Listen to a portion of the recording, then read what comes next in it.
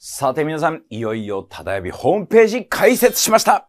いやー、ここまでね、え長かったんですけれども、しかしこれから皆さんのね、学習の利便性が一気に向上するものと信じております。そこで今回はですね、ホームページの使い方ガイド。この話をさせていただきたいと思います。まずね、これスタートページです。えー、見てください。登録者数36万人超。配信授業数5000本超。日本最大級のオンライン予備校。まあ確かにね、えー、非常にこう充実した授業群があるわけですけど、アクセスに対してはね、なかなか難しいところもあったかもしれません。しかし、これ、このホームページの完成によってね、一気に皆さん、何回か触れるだけでね、自分の目当ての授業にすぐアクセスできるようになりました。実際にどう使うのかを見ていただきたいんですが、こちら見てください。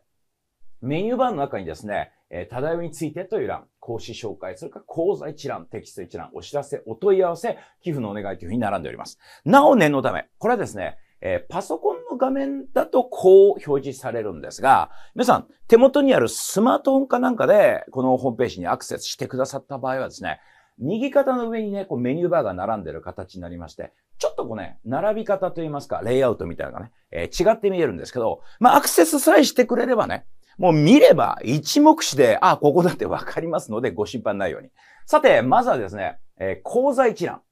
今から何の勉強しようかということで自分のレベルに合った科目の中でね、レベルに合った授業を探したいと。例えばですね、数学をタップします。そうすると、数学の授業がですね、これ膨大な数並んでいるわけですけれども、まずね、ちょっと注目してほしいのはね、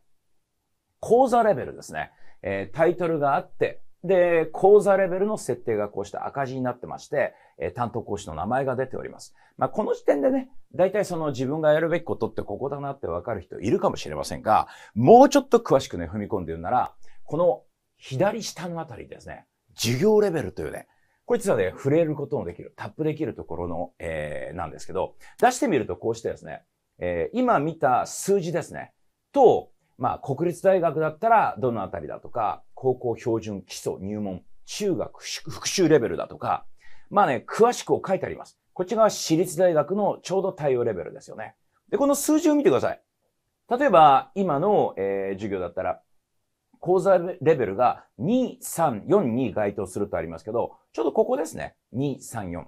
高校基礎、高校標準。で、国立大学の、えー、あたりまで大体対応してるということが読み込めます。えー、私立大学の方で見てみてもですね、高校基礎、高校標準。で、えー、一般的な私立大学にはちゃんと対応できるよということが、この表からちゃんとね、読み出せるようになっておりますので、皆さん、自分のレベルに合った授業ね、まあ、急にいきなり応用とかね、言うんじゃなくて、基礎から丁寧に積み上げていく方がね、意外とこう、急がば回れって言うじゃないですか。ぜひともですね、この、えー、授業レベルのタグだとか、この講座レベルの数字だとかね、えー、参考にしてください。で、例えば、高校数学基礎講座。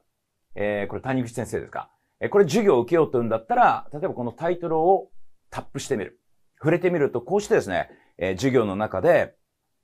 まずはね、項目ごとに分けられた、えー、タップできる箇所ですね。例えば集合と命題とか、数と式を学ぼうという場合はですね、ここ触れてみると、こうして、えー、授業が順番にこう並んで出てくる形になっております。いや、これも圧倒的に便利ですね。例えば1項目からね、勉強したいという人はですね、これ授業と書いてあるところを触れると、そうするとですね、こうして、え、授業が始まるんですよ。ところでこれ一旦ここ停止しますけれども、この授業動画のやや下にですね、こちら、概要欄があります。これの概要欄と一般に言われるこの場所なんですけど、この冒頭にね、教材はこちら、まあ、テキストはこちら、資料はこちらなどという風な形で、今回の授業で使う、いわばテキスト教材がね、ちゃんとここ触れると、こうしてアクセスできるようになっております。そうするとですね、今回の授業の中で使う、えー、予習用教材が事前にちゃんと読み込めるようになっておりますので、えー、ダウンロードするなり、えー、プリントアウトするなりしてですね、事前にちゃんと予習してですね、で、えー、授業を受けるようにしてください。最初に自分で、自力で問題に向かってからね、えー、授業動画を受けるっていうのが、まあ何はともあれね、やっぱりね、安定した実力向上のために大切な原則ですからね。えー、さて、そしてですね、まあ今回のホームページはね、えー、皆さんが目当てとするね、例えば定期テスト対策でもいいですよ。自分の弱点克服と考える一週間を決めて、その一週間で、例えば数と式に関して全部やっちゃうとかね。えー、こういう使い方がいろいろできますので、ぜひね、えー、自分のスケジュールを考えてですね、で、大いに有効利用してください。ところでですね、この、ただいまのホームページ冒頭に戻りますと、こうしてまあそのメニュー欄がありますけど、今この講座一覧ね。えー、講座一覧から各個別の授業へとアプローチしてみました。えー、次にですね、このテキスト一覧ね。ここ触れてみてください。そうするとですね、こうして、まあなんかわかりやすいアイコンとともにね、えー、科目がこうずっと居並んでるわけですけど、例えばですね、えー、生物、えー、触れてみます。そうすると、えー、田中隆之介先生のこう生物のね、えー、テキストがこうたくさんこう並んでいます。で、このテキストって出ているところはですね、触れてみると、この、まとめてテキストがこうして全部ね、わこれ素晴らしいですね。全部こうして、えー、閲覧できるようになっております。まあ皆さんだからね、えー、このテキストをいっぺんにダウンロードする。あるいはプリントアウトして、傍らに置いてね、えスケジュール通り先に予習をしておいて授業を自分のプラン通り受けていくという形で受けることもできます。授業に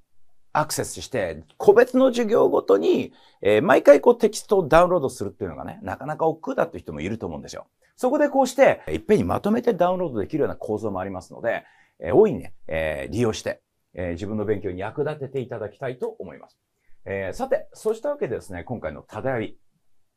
まあ、様々な授業があって、なんとこれ5000本ありますからね、凄まじい数なんですけれども、ぜひともね、皆さん今回のホームページ、もうこれ大変だったんですよ。大いに利用して自分の勉強に役立てていただきたいと思います。ところで、最後になりましたが、今回ね、この寄付のお願いっていうところもちょっとお話をしておきますが、えー、これ仕組みがちょっとね、さらに工夫されまして、クレジットカードでの寄付ができるようになりました。こうすると毎回ね、えー、銀行に振り込む必要がないので、まあ非常に簡便になったということです。なお、その、カード情報の変更だとか、自動課金の停止もすぐできますので、ご安心ください。で、え、銀行振込にて寄付いただける方はね、えー、こちら、前々と変わらずこちらの方に振り込んでいただけますと、我々のね、もう大いなる励みになりますので、ぜひとも、え、ご協力よろしくお願いします。で、この最後のところにね、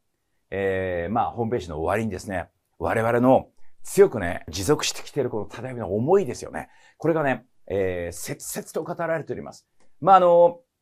いろんなことがありましたけど、それでも我々は、こうして無料でね、えー、良質な授業、もう本当最高品質な授業を皆さんに提供することで、まあ、この国のね、リテラシーといいますか、文化的なね、向上、まあ、受験レベルを超えたね、そういったものにね、何かしら貢献したいという強い思いがあります。えー、そこで皆さんこれぜひともご一読ください。で、ただやびをね、ぜひ使ってください。ホームページはですね、これで終わり、完成というものではなくて、いよいよ皆さんのご意見を、えー、大いに吸収してですね、さらにクオリティを上げるべく、様々に工夫、加工、研鑽を続けていきたいと思います。だからぜひですね、えー、今回の、えー、使い方を見て、え実際に触れてみてね、ここはこれのがいいんじゃない？とかね、こうしてほしいなとか、コメントをお待ちしております。さて、えこのホームページなんですけど、今回のガイダンス動画のですね、下の、え概要欄にね、リンクをあの貼っております。えー、ぜひともそこをタップしていただきまして、えー、自分で実際に触れてみてください。えー、もうはるかに自分の学びたい授業への